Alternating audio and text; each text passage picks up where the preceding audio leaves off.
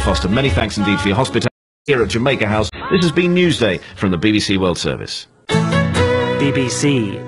Here's Justin Rowlatt and Lesley Curwen from In the Balance. The financial crisis is transforming the world, affecting every one of us wherever we are. Every week, we invite the top business leaders and economic thinkers from across the globe to debate what's happening and why. The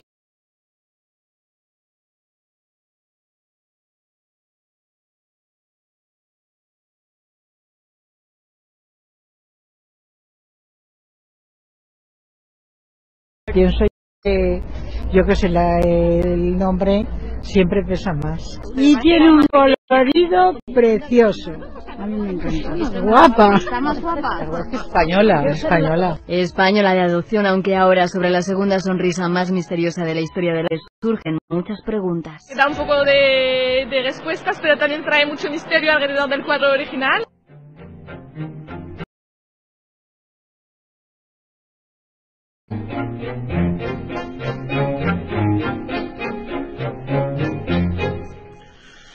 Sobre la mesa, un espacio humano y Radio Exterior de España. Por cierto, que recordamos a nuestros oyentes que Radio Exterior de España está cumpliendo sus 70 años de vida, por lo que estamos recibiendo los saludos de muchas de las emisoras internacionales de otros países. Radio Exterior de España. Una Madrid. Madrid Diary on Radio Exterior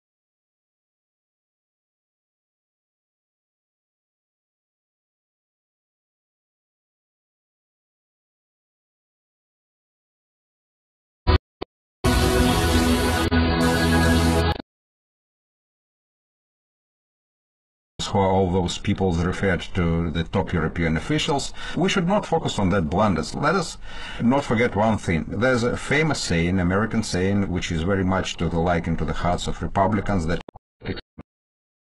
that's why whatever blunders are made abroad, yes, they can be ridiculed by press, but they have rather limited effect on the, target, gracious, on the target audience in the United States. But you know, those same people are committing the blunders like cushions, a rusting bedstead.